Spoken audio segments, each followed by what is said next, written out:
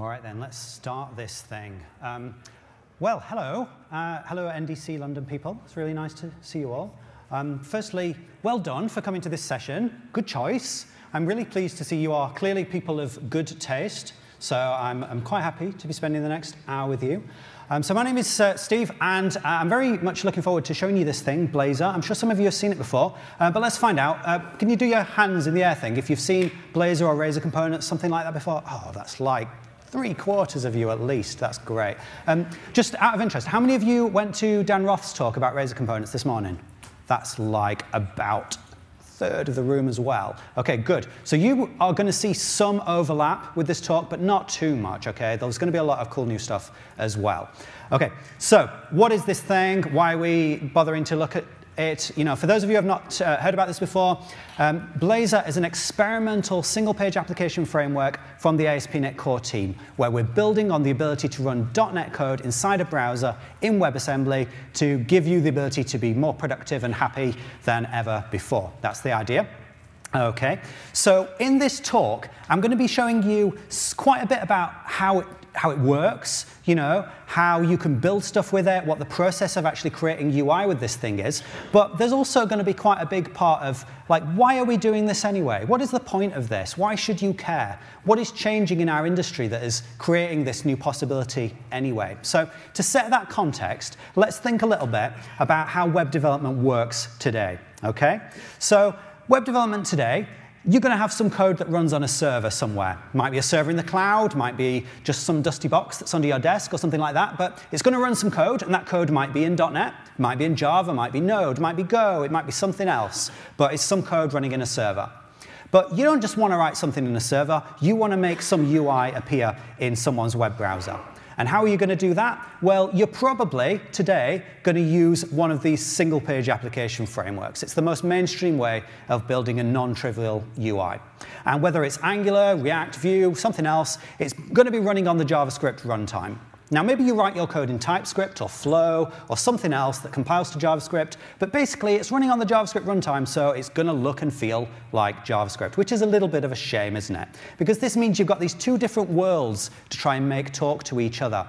And not only that, it's just sad on a principle level, because if, as an industry, we've built all these amazing languages and platforms, why can't we use them wherever we want? Why are we limited to this one little uh, cluster of languages around JavaScript in the browser? Wouldn't it be better if we could use anything we want, anywhere we want? And that's the idea behind WebAssembly. Uh, WebAssembly is a way of running any code you want inside a browser, doesn't have to be JavaScript. We'll talk about how this works internally later in the talk, but just for now, let's say this is a great way of running whatever code you want, and it's supported in basically all browsers, including mobile browsers, um, at least as of about 18 months ago. So we're in good state with WebAssembly. So if we can run whatever code we want inside the browser on WebAssembly, that naturally leads us to think, well, could we run .NET inside the browser on WebAssembly? And when we found out that we can do that, that brings us very happily to Blazor, which is a UI platform built on top of this stack. So this is for you to build your sophisticated UIs on top of .NET running inside a browser. Okay, so would anyone want to do that? Well, would there be any benefits? Who should want to do that? Why would we care? So there are potentially quite a number of advantages to doing this versus traditional approaches to building your web UIs. And I'm going to go through some of them, but you don't want to just hear me keep talking about this. You want to actually see it for yourself, presumably. So I'm going to show you some examples of each of these things just now. Let's start with the advantages of using the C-sharp language inside a browser. Okay, so I'm going to switch over to a demo application now, and I've got this Blazor application here that I can start up and run inside my browser. Okay, so uh, it's a pretty tr traditional, typical looking web application. Uh, it's got a couple of different pages in it. We've got a to-do list. We've got this thing where we can fetch some weather forecasts from the server. Um, and we can do some forward, backward client-side navigation, and it's all interactive. So let's have uh, make Blazor profit. Okay, so that's my to-do list, and it's all working fine. Um, and it's interactive inside the browser. Sort of thing you would normally use uh, a JavaScript framework to build, but we're not using JavaScript here at all. So if we have a look at what's inside our solution here, you'll see what we've got is a bunch of CSHTML files, which is Razor. I'll talk about that in a second. And besides that, we've got CSS, we've got HTML, and we've got traditional C-sharp files, but no JavaScript. Because we don't need it, because we've compiled .NET and we've, uh, we've run it in such a way that it can run inside the browser. Okay? Um, so what are these CSHTML files? Well, if you've done any ASP.NET development in the last few years, you'll be familiar with CSHTML being Razor files. Now, Razor is a syntax for combining C Sharp and uh, HTML in one file in a way that they can work together really nicely. So let me give you a couple of examples of that. Okay, so firstly, how does this very simple thing on the home screen work? It's just some static content. So how do we make some static content show up in our Blazor application? Well, we make a component. In Blazor, all parts of your UI are components. The whole application is a component. Pages are components, layouts are components, groups of UI elements, they're all components. It's components all the way down. So that's what each one of these CSHTML files is. And the simplest component is very simple indeed. It's just some markup, just static markup. Uh, but what's this? Okay, so up at the top, we've got this one special thing, which is a, directive. And the page directive says, this is the component that we want to use if the user is on the home page. And we're going to display this static markup. So that's pretty simple. Okay. Uh, what about the slightly more interesting thing of this to-do list, okay, where we can actually enter some stuff and the UI updates? Well, let's look at the code for to-do list. There's quite a bit more in here, but I think we can understand this quite easily. Let's go through it. So firstly, we've got the page directive up at the top, again, to control which URL we respond to. And ignore this stuff for a minute. Down here, we've got a functions block. And inside the functions block, we can put some code. And since this is .NET and we want to write this in C Sharp, we are writing some C Sharp code right here inside our component. So how does it work? Well, we've got this text box here, which says whatever value you enter, we're going to put this in this field called new item text, which is defined down here. Okay? And then this form says when you submit it, we're going to call this method add item, which is a C-sharp method defined down here. And we'll take the item that you've just typed in and we add it to our list of items, which is a list of string. And then we want the box to get cleared out, so we'll set new item text back to null. Okay? And then all that's left to do is iterate over all the items in our items list, and for each one, we'll just display it on the screen. So I hope you will agree that this is a pretty simple way of writing interactive UI, okay? Very simple, familiar, components-based programming, but with .NET combined with HTML. All right?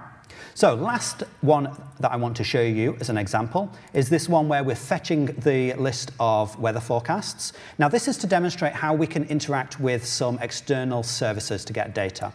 And if we look at the code in there, you'll see, again, we use this page directive, but we're also now using inject. Inject lets us interact with ASP.NET's dependency injection system so that we can get services uh, that are defined within our application. And in this case, we're getting an HTTP client so that we can make some calls to fetch some data. Okay, now we'll ignore all this stuff for a minute and let's look down here.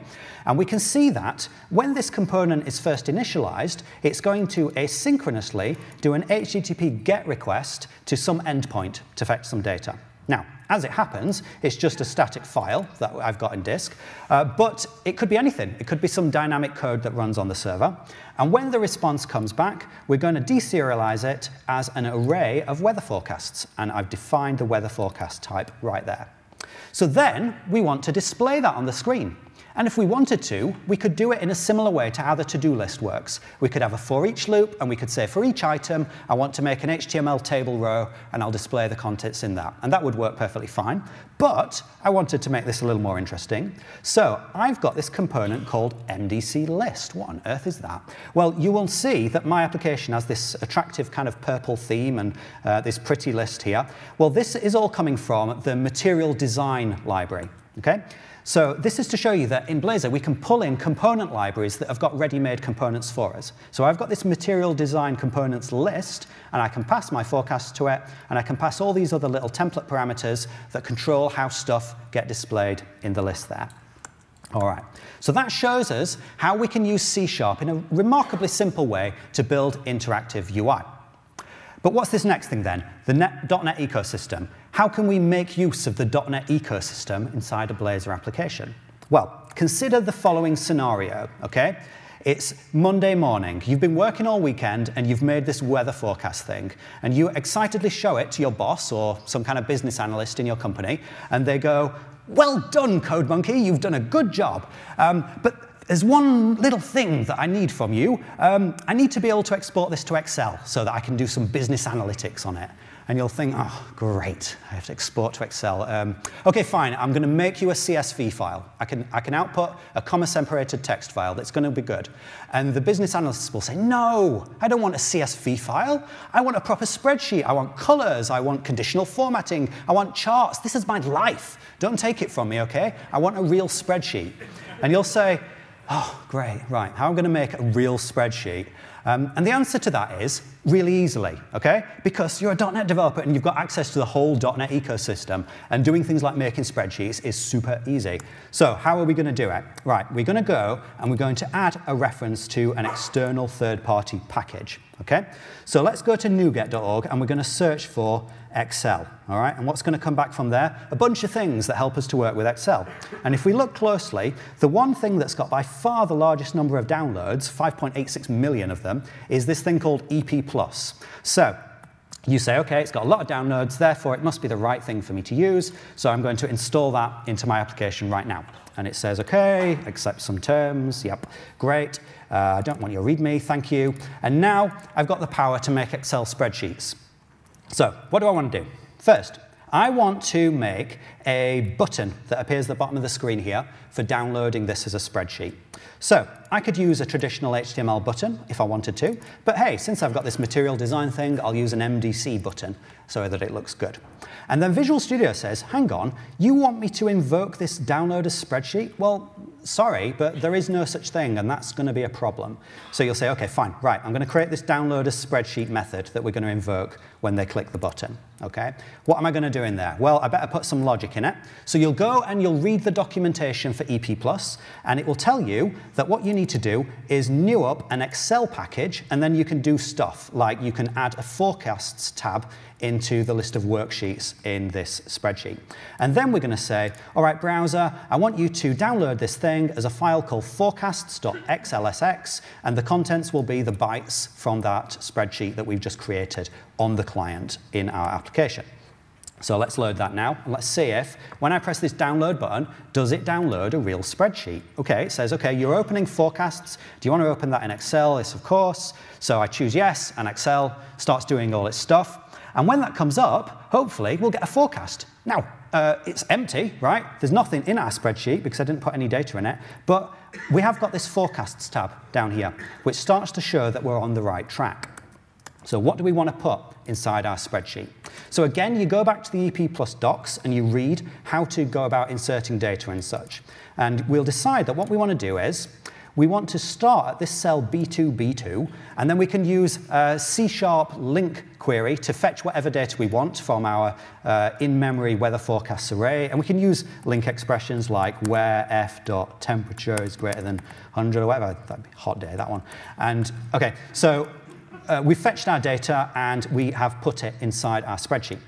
Okay, but we can do some more cool stuff than that. Let's make this a little bit more interesting. So first, let's add a computed column here in our spreadsheet where we're using this formula to calculate temperature in F based on temperature C. Very good. And let's also dump in loads of code that you won't have time to read that's going to set horizontal alignment, background color, and bold fonts and other things like that. All right. And then finally, just to really show off, let's put in a chart. Okay, just because that's what our uh, business analysts really wanted. So let's go back and try that now. So if I hit the download button, then again, it's going to say you're opening this uh, forecasts spreadsheet. And when that comes up, this time, instead of being empty, we've now actually got our data. And it's got colors and it's got uh, formulas. It's even got this completely insane pie chart that shows like how much of the temperature happens on each day of the week, whatever that means. Okay.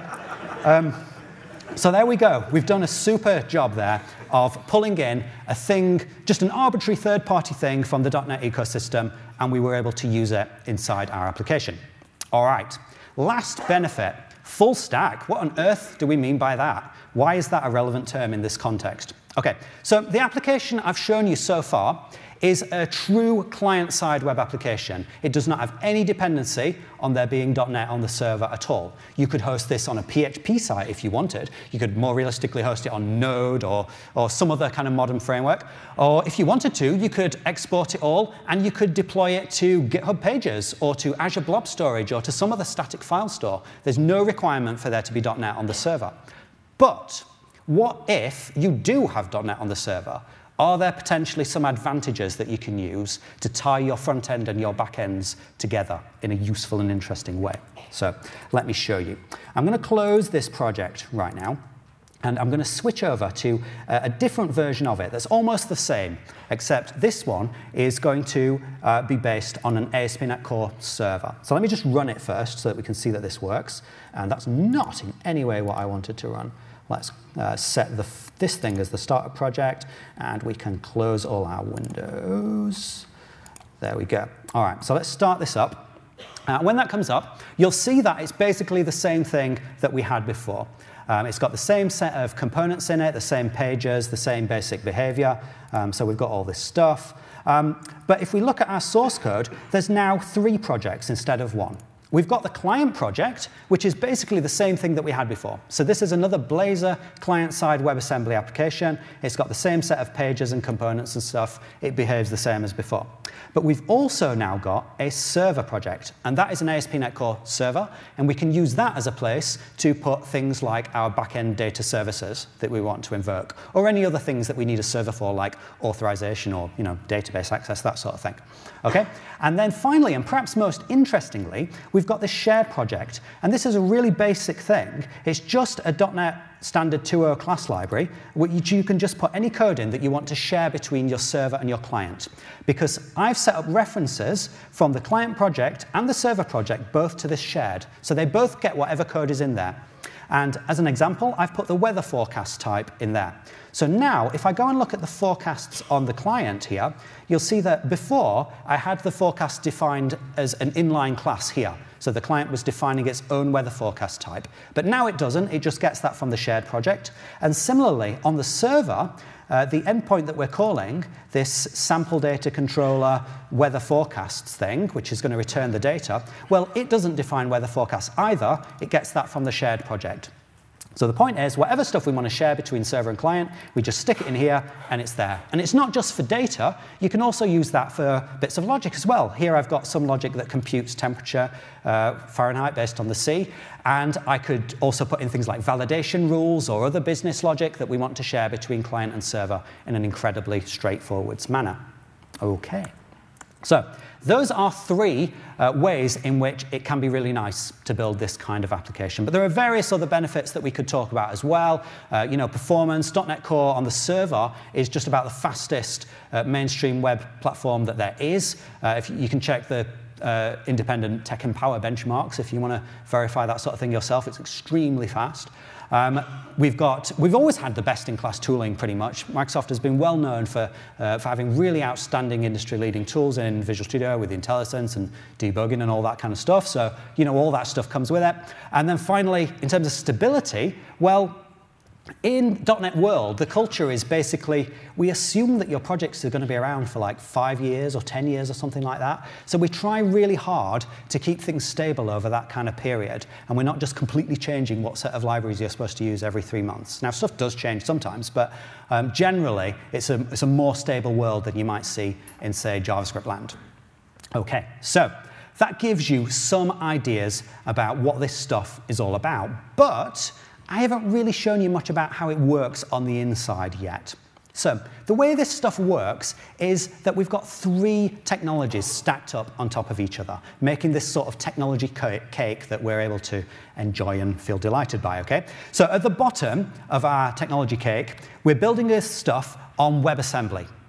And I've said to you already that WebAssembly is a way of running whatever kind of code you want inside a browser, but how does that work, okay? Well, WebAssembly is a bytecode format. That's what the spec is. It says that here's a way of describing some programs in a low-level bytecode, and browsers are supposed to implement support for executing it. And the good news is they have implemented support for doing that. All the mainstream ones, including uh, mobile ones, have done that. But what does this bytecode look like? You may well never have actually seen the bytecode itself, or maybe you've uh, seen it, but you wouldn't really know how to create it yourself. So let's have a go.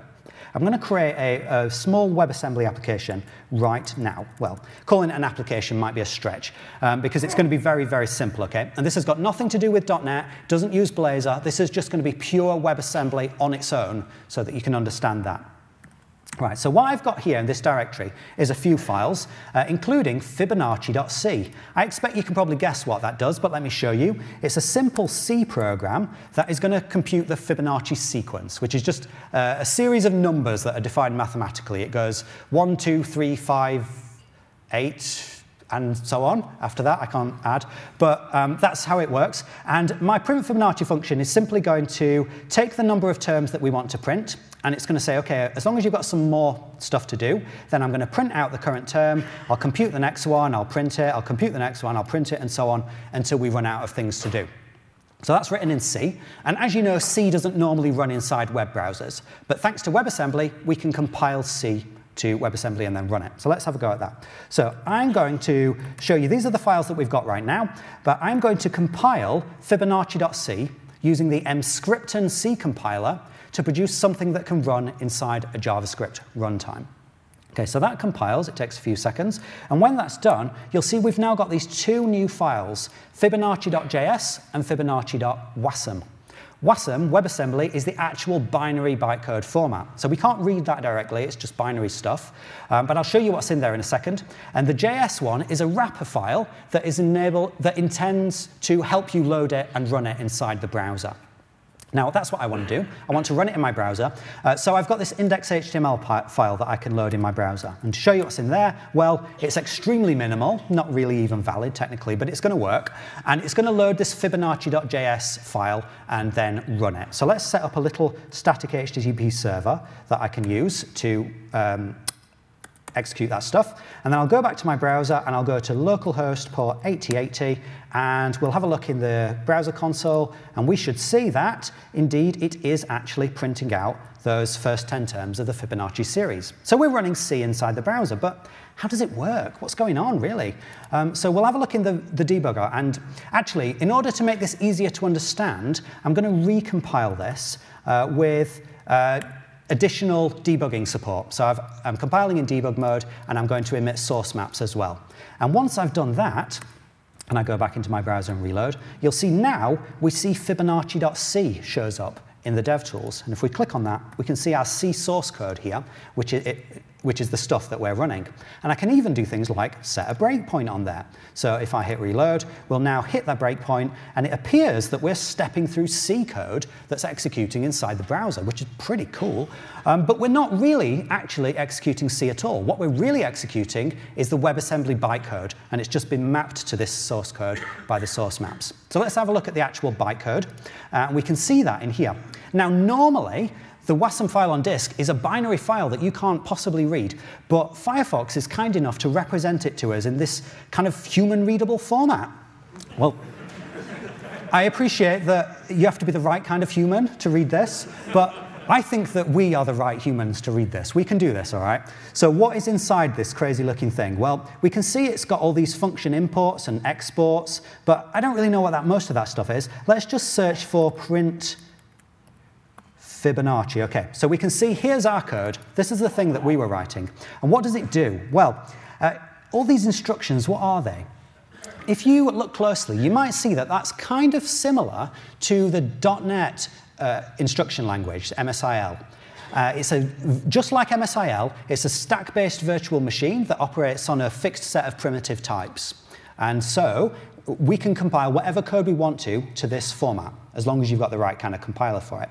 And the sort of thing it can do is it can do things like define functions, it can have locals, it can do loops, it can do these numeric operations like subtracting one, um, and it can call out to system functions, like here is where it's calling the print thing. Okay? So given that, we can even set breakpoints inside WebAssembly as well. So let's do a reload on there, and we should see that we've uh, hit some breakpoints and we can start stepping through the actual WebAssembly code as well. All right? So I hope that somewhat makes sense to you that that's what's at the bottom of the stack here. We're able to compile stuff to this bytecode format. It then runs inside the browser. And WebAssembly is really fast. One of the key design goals for WebAssembly from the beginning has been performance. And generally speaking, code that's compiled to WebAssembly runs within a factor of two of executing just natively, if you compile it to native x64 machine code or whatever else that you normally target.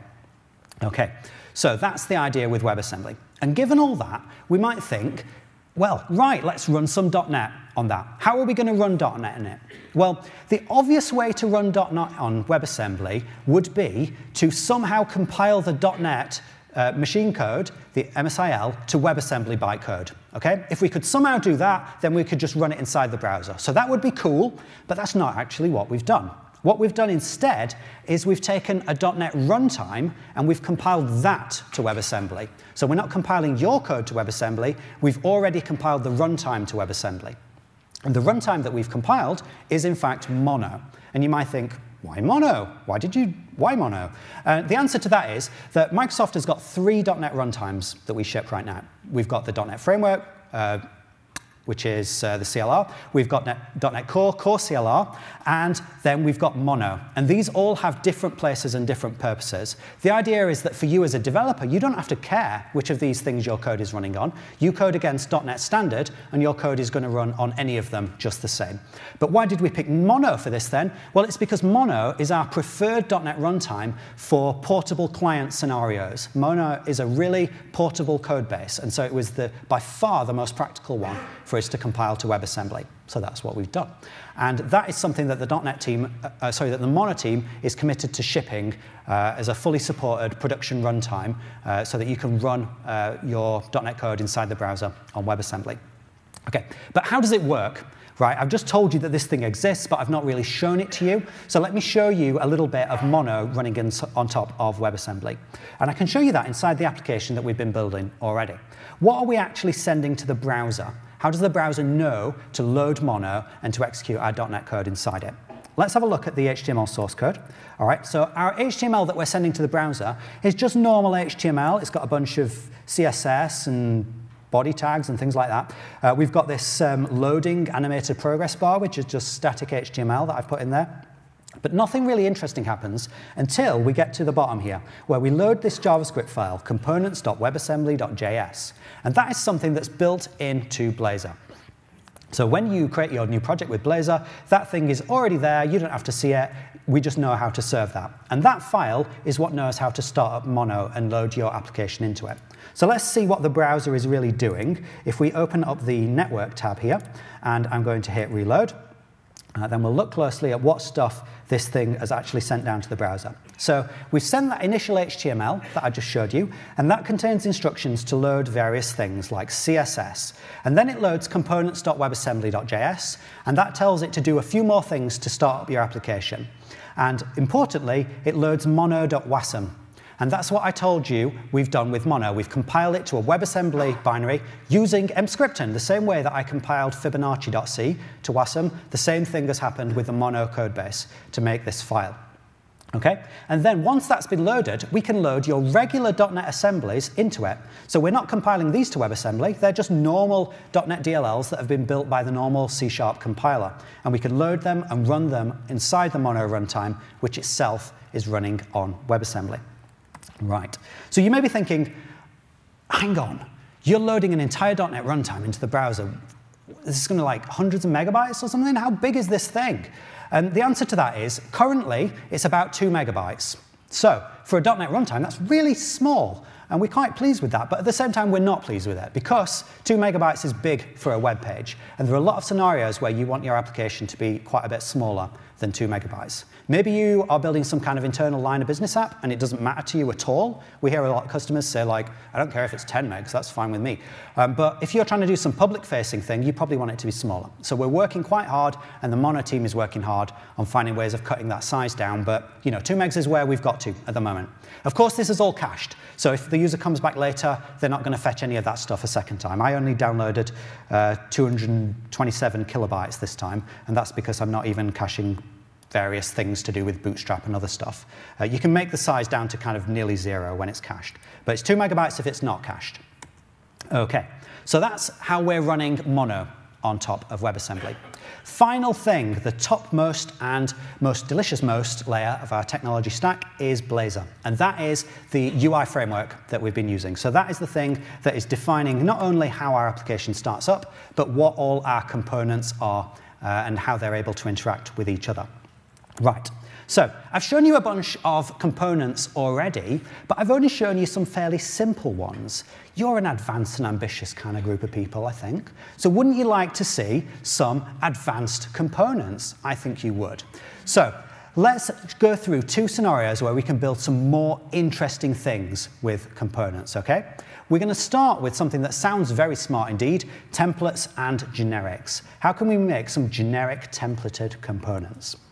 Well, what I want to show you is, let's look at this thing here. I mentioned earlier that I'm using this MDC list, okay? Now, what is that? And how could we make our own special list components ourselves? This, remember what it looks like? It's displaying this attractively formatted list with icons and subtitles and things like that. And that's all coming from this external component library. But what if we wanted to do this ourselves? What if we didn't have MDC list? Let's get rid of it and implement it ourselves, shall we? So I'm going to show you what the equivalent inline code would be. It's kind of scary. You're not going to like the way it looks, but this is how it is. If we wanted to make this uh, material design list just by ourselves, we'd create an unordered list and we'd put this massive pile of unpleasant looking CSS classes on it. And then we'd say, OK, for each of the weather forecasts, we'll iterate through it and then we'll make more and more markup, during which we'll display the icon and the date and the temperature and other things like that. So let's see if our homemade material design list works just the same as the, the predefined one. So let's come back and reload. And it should render more or less the same thing. It's slightly different. It's not displaying the temperature in Fahrenheit anymore. But you know, it's basically the same thing. I just didn't make it exactly the same. OK, so we can do this ourselves. But once we've done this, we don't want to keep reinventing this every time. We want some way of reusing this component over and over again, the general idea of a material design list. So how can we make our own list component? I'm going to do that right now. I'm going to add a new item, and I'm going to choose Razor View, and I'm going to call it super list. All right, so what can I put in my super list? Well, the first thing is, let's think about what data our list is going to need. We want to be able to pass in the list of things to be rendered. Okay? So I'm going to define a parameter on my list here.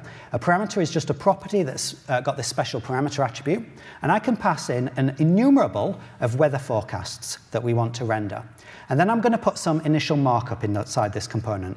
And it's going to be the same thing that we saw before. So it's going to have all these CSS classes, and it's going to say for each one of the things, I'm going to display something. And initially, I'm just going to display the date. All right, so let's keep it simple to get started with. And then over here on the consumer side, let's get rid of all that markup. And I should see in IntelliSense, if my IntelliSense was alive, it's there, yeah? So I've got my super list here, and I can start making use of that. Okay, but I want to pass in the list of forecasts to it. So that's what I'm going to do. Let's save that. I'm going to rebuild, and then we'll check that we are actually using our super list component. Now remember, super list only displays the dates, and it does so in a very basic and rubbish fashion. So we've got some more work to do. Firstly, I do not want to display the dates in this format. I want to be able to customize the format. So what can I do here? Well, I could have a parameter where you pass in a format string or something like that, but I want to be even more advanced than that. I want to be able to pass in some arbitrary markup that describes the way that the uh, title is going to be rendered, this primary text. So I'm going to define another parameter here, and it's going to be called title, And the typing of it might be a little bit unfamiliar. So it's going to be of type render fragment. That's a special type that components know about, and that represents an arbitrary piece of user interface. So the person using the component can pass in whatever markup they want, which can contain logic or other components, and we're able to render it from here. So now, uh, instead of just rendering item.date, I'm going to invoke title, and I'm going to pass the item into it. It's a generically typed render fragment which operates on a weather forecast. So I'm going to call it, and so we'll render whatever markup has been passed in for each item. And now, if I go back um, onto the consuming side here, I should be able to specify a title, okay? And I can put in here whatever I want to uh, using this magic keyword context, okay? And if I type that correctly, like, let's make sure I've got the type correct, and I try to type context, then IntelliSense should say, okay, I know what that is. That is going to be a weather forecast. So I'll prompt you with what all the properties that are on weather forecast. Okay? So I want to display the date, and I want to be able to display it in a particular format. So I'm going to pass a format string here to control that it gets rendered like this. Right, let's try this out. Let's see if we're now rendering our um, dates in a more attractive format. So we reload, and indeed, we are now displaying it in the way that we wanted, okay? But I don't just want to display the date. I want to display things like an icon and summary text and other things like that. So I'm going to go back to my super list, and I'm going to say you can pass in as many different templates as there are things to do useful stuff with. So I'm going to say we're going to have an icon template, a subtitle, and actions, and we're going to make use of all those in the rendered output. So let's get rid of this, and I'm going to just paste in a big chunk of stuff that displays the icon and the title and the subtitle and all that stuff.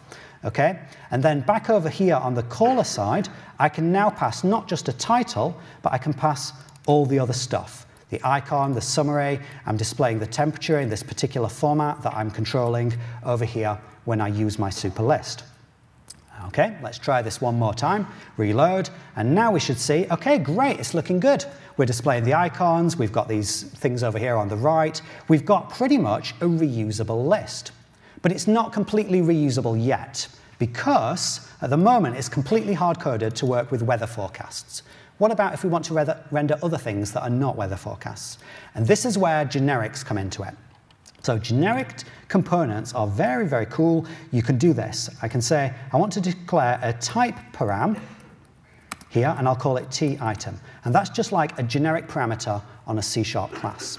And so now, instead of using weather forecast, I'll say, okay, give me an enumerable of t items and also a bunch of templates that, in a strongly typed way, operate on t item. Okay? And now I can render anything I want. So then I can go back over here to where I use it, and I can specify what I want t item to be. So let's say I want t item to be a weather forecast, all right? So now I can pass this list of weather forecasts in, and VS knows that each one of these things is going to be a weather forecast, so we get the right IntelliSense, okay? But what's cooler still than that is, what if we don't specify what the type is? Well, that's great too, because we've got generic type inference. We don't have to specify what it is.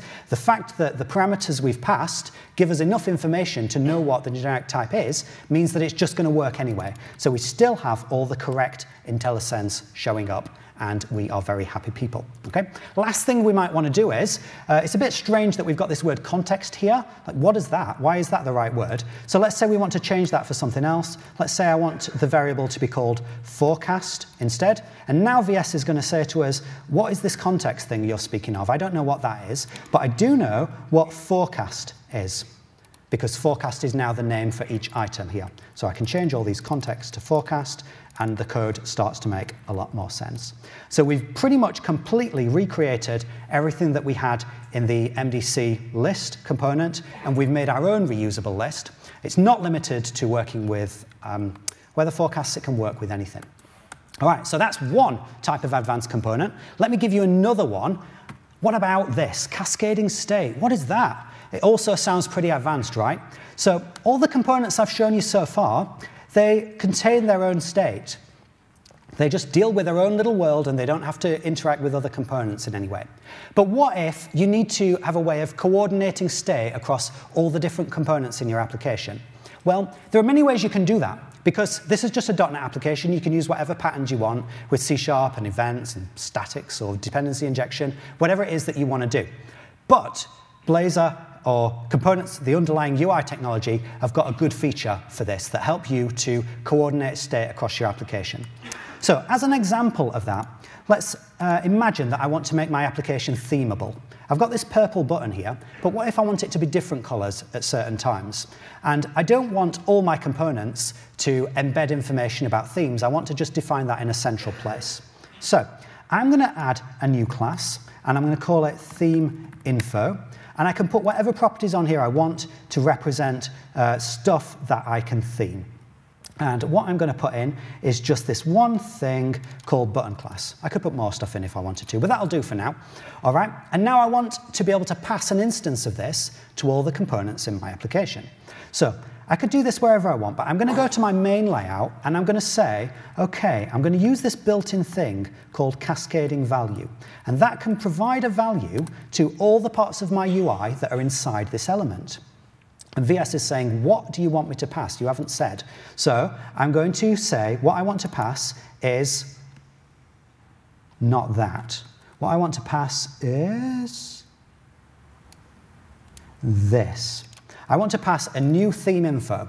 Okay, so I'm creating a theme info, and I'm saying the initial button class is this button warning thing, and I'm passing that to all the other parts of my application.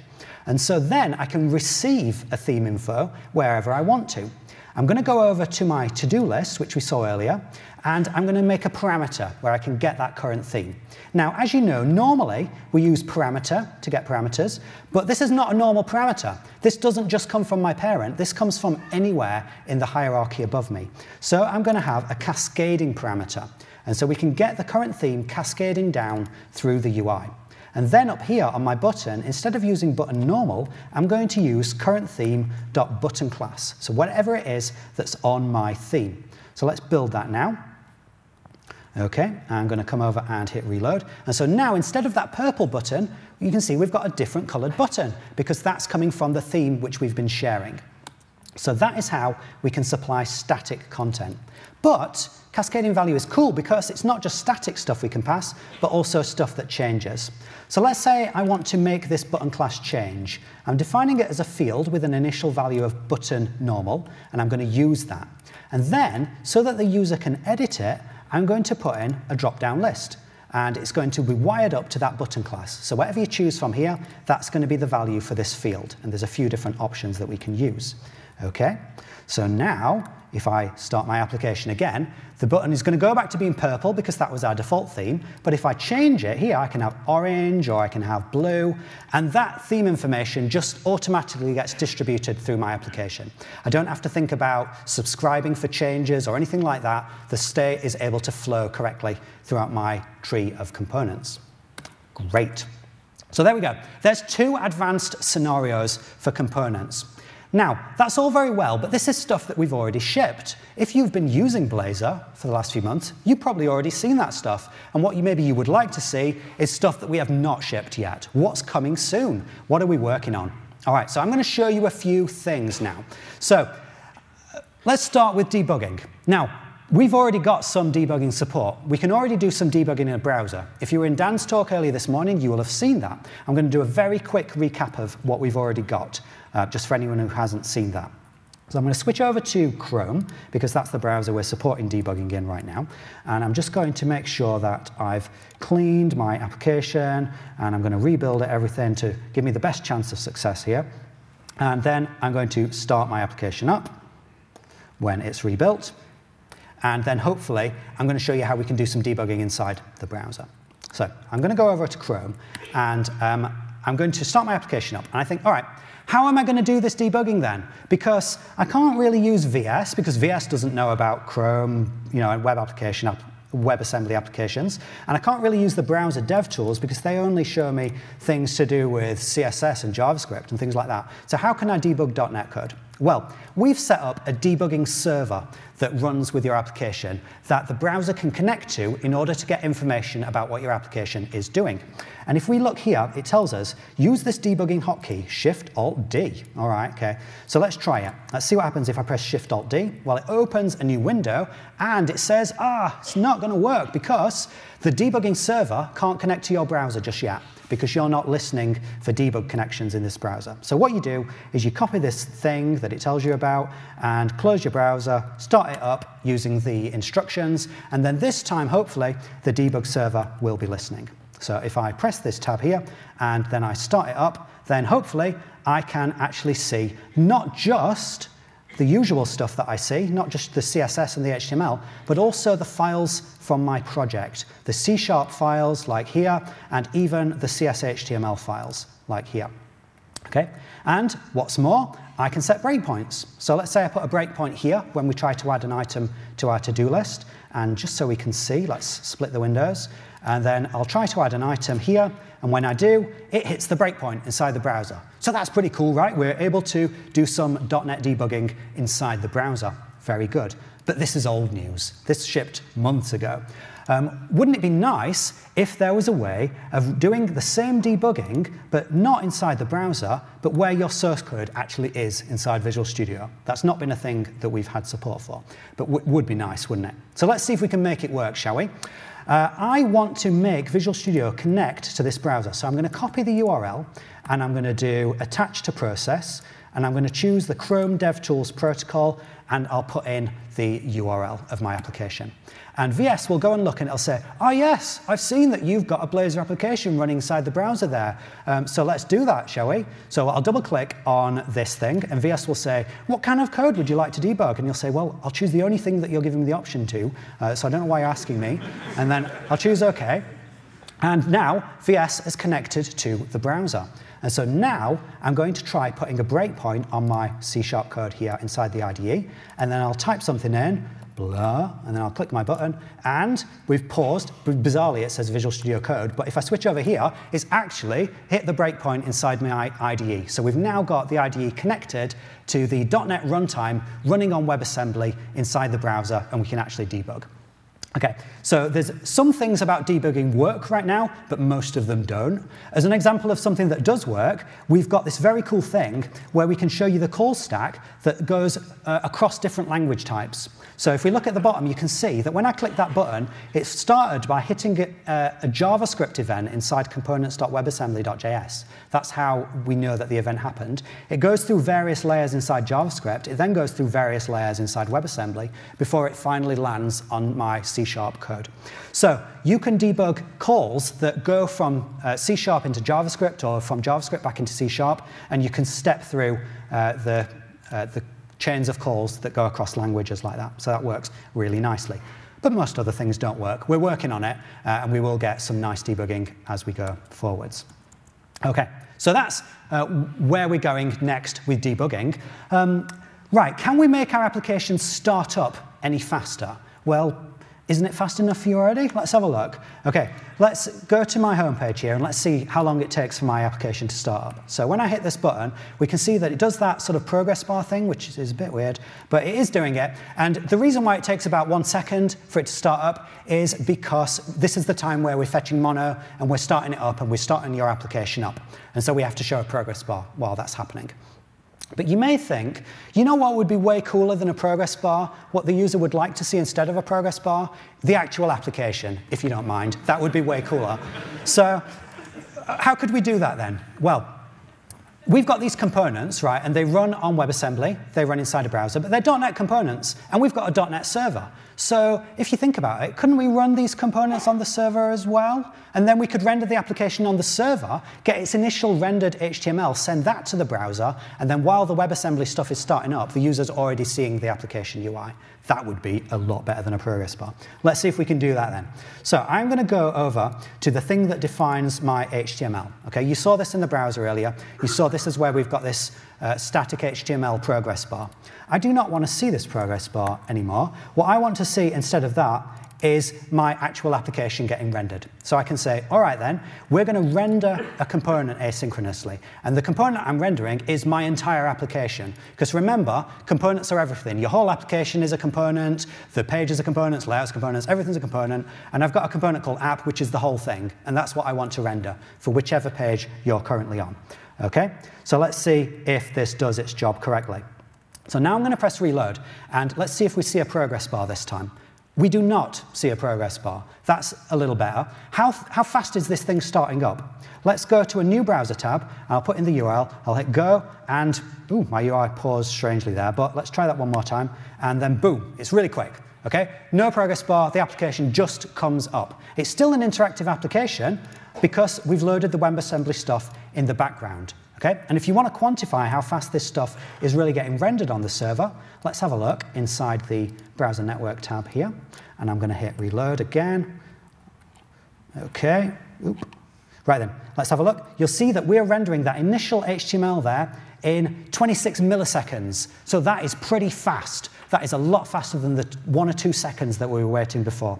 And the actual overhead of rendering your Razor components is really close to zero. If you return a page that just returns hello world, it's basically the same. So the performance is really something I'm extremely happy with. So that is doing server-side pre-rendering to make your application start up near instantly, um, even while the WebAssembly stuff is loading in the background. And one of the cool things that you can do with that, although, I don't know, maybe you'll think this is not cool, but I kind of think it's cool in a sort of retro old school way, is what if we wanted to make a traditional server rendered application now? We didn't want any of this WebAssembly stuff. Let's just delete that script tag completely. What's going to happen now? Okay, let's find out. So I'm going to go to this weather forecast page here, which is, was already running. When I hit reload, it's not going to load any WebAssembly stuff at all now. This is a pure server-rendered application, like a traditional uh, MVC server-side application that just returns HTML to the browser. If I look here, it looks kind of disgusting because we haven't sorted out all the formatting yet. But if you look closely, this is the HTML markup that all the components are generating. So it's a pure server-rendered HTML application now.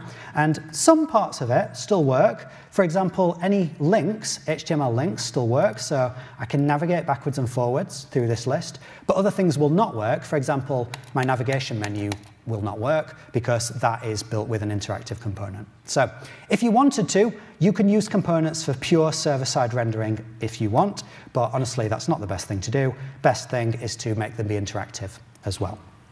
Okay. Right then, last thing, can we make our code run faster? Well, is it not fast already? How fast is it? Shall we try and have a way of quantifying how fast our code is actually executing? Well, that's why I've got this thing here called primes, all right? And we are going to be able to compute prime numbers, all right? Let's get the 10th prime number, that's 29. Let's get the 1,000th prime number, okay? Let's have the 10,000th prime number. It's like 100,000 something. And it's taken us 360 milliseconds to compute that. Okay, why did it take that long? Well, let's have a look at the code for this. Uh, I'm going to look at this component called primes, and it's got this text field while you type in which prime you want. It's got a button that's going to submit to this calculate method here, and calculate is going to call a method on a library that I've written called supermaths, and that is maths, not math for the Americans, um, dot primes dot compute nth prime. Okay, and if we look at the code inside there, uh, it's a very, very brain dead simple algorithm. It's just going to do absolute brute force. It's going to consider for all the numbers, is it prime by checking all the possible divisors, and then you know we're just going to keep doing that until we get to whichever one that you asked for. Very, very simple and quite computationally expensive. And we see that it takes about 350 milliseconds here. Now, if we compare that in uh, running it natively, how fast is it going to be? So to find out, I've created a normal console app here called normal console app. And if we look in the program main of that, you'll see it calls the same thing. It calls the same compute nth prime thing. So let's set that as our startup project and run it and see how fast this stuff really should be. Okay? It should be able to do this in like 12 or 13 milliseconds if it's running under JIT compiled native code.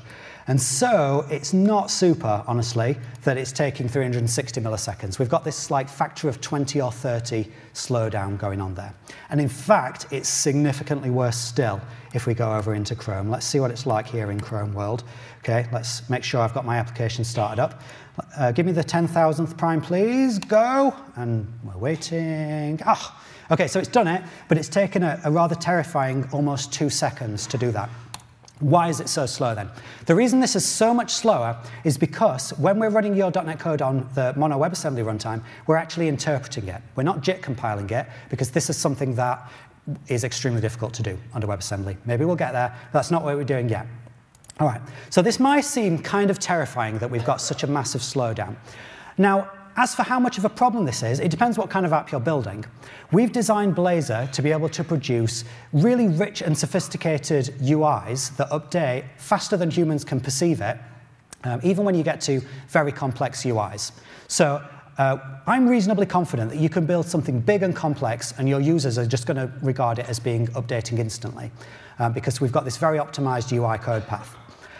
But if you want to do something CPU intensive, obviously it's not such a rosy scenario. But there are ways that we can make this better. So what if, instead of running on an interpreter, we were able to compile your .NET code to bare metal WebAssembly ahead of time and then execute that in the browser instead of running it through an interpreter. And that is something that the Mono team has been hard work at for quite a while, and they're pretty close to being ready with this. So I'm going to show you a little example right now. This is just a proof of concept that's separate from what, what the Mono team has done, just to give you an idea of what the developer experience might be like. So I'm going to look at my project file here for myapp.client. That's the Blazor application here. And you can see that this is where we're referencing supermaths. And I'm going to put a little bit of extra instructions here to say, when we reference that, I don't want to load it as a .NET DLL. I want to, ahead of time, compile it. Okay? And then, just because this is a hacky prototype I've put together, I'm going to have to go to my index CSHTML and put in a reference for this other thing, the AOT loader that, that I've made. Right, so now when we compile this, the application is going to be a little different because some of it is going to be ahead of time compiled. So let's reload here inside the browser. And I'm going to look inside the browser DevTools here, uh, because what I want you to see is that if we look in this framework directory with all the WebAssembly stuff, we've not just got mono.wasm, we've now also got supermaths.wasm, where we've compiled the .NET assembly to native bytecode. And if I look in that, uh, okay, so I have to refresh to see it, but if I refresh, then we look in there, you can see this is the WebAssembly translation of our .NET code. And we've exported this function, compute nth prime, and the implementation of it in just native WebAssembly has been generated right there. Okay, but is it actually any faster? Shall we find out? So let's say if I want the 10th prime, well, that uh, takes no time at all by the time we've got it running. If we want the 10,000th prime, is it still going to take 300 milliseconds? It now takes 18, 19 milliseconds. So we've had a fantastic speed increase, very, very close to the 13, 14 milliseconds that we're getting when running natively. And in fact, it's even better if we go over into Chrome and we try to get that one there.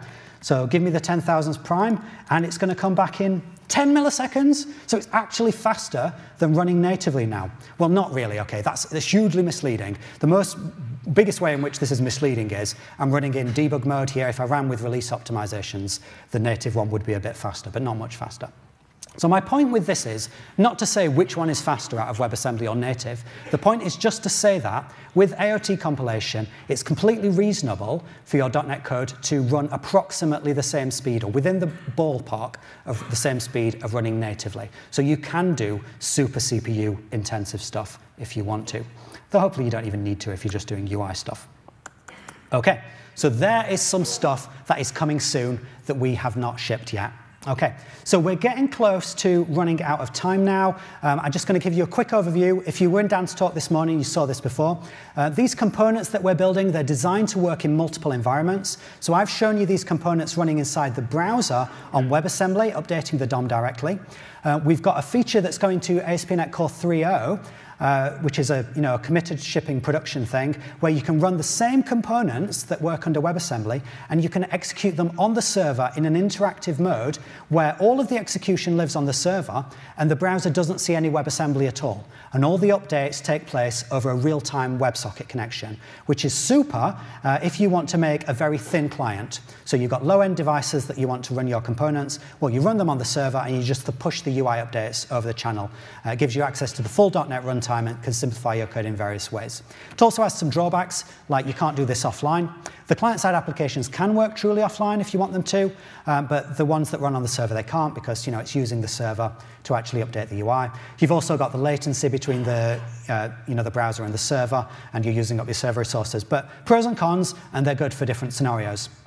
The final thing, uh, the final case where you can run these components uh, that's not client-side or server-side, um, you might be thinking, hang on, client side and server side. That's the whole universe, isn't it? There's, not, there's no other side to this. Uh, but there is another side to it, which is what if you want to write a native desktop application with something like Electron? Well, you can run the same components there as well, and we can update the, um, the UI directly inside Electron. To give you a very rapid example of that, uh, we did a little uh, work exercise to try porting the Azure Storage Explorer application to run inside Blazor on Electron. So this is the Azure Storage Blexplorer, and it is a Blazor, a set of Blazor components running inside Electron. So we've used the same web technologies that you've seen me use, and we can make something that's, you know, looks and feels just like a native application. We've got this grid with 100,000 rows in it. We've got tabs. We've got native right-click menus. Uh, we can do uh, network access. We can interact with things like uh, operating system services. So for example, let's see what Andrew Nurse has been put into these blob stores. I can open this item here, and that's going to show up as a, you know, inside the native Windows image editor. Um, so we can interact with the operating system properly from Electron. So point of showing you all that is, this component model that we're giving you now is designed to be incredibly flexible. It can run under WebAssembly, it can run on the server, it can run on Electron, and your same UI components can work in all of those places. So that is all I'm going to have time to show you. Uh, if you want to try out Blazor, I'd recommend you do so. There's a lot to learn. Uh, we've got some documentation site. There's lots of good community projects that are uh, springing up around Blazor and the whole ASP.NET Core Components system, so you should go and try them out. To do that, you should go to blazor.net, and that'll give you all the instructions about how to set things up, and you can try that out and you know, make yourself a happier and more productive person. So that's all. Hope you enjoyed the rest of the conference. Remember to evaluate this session.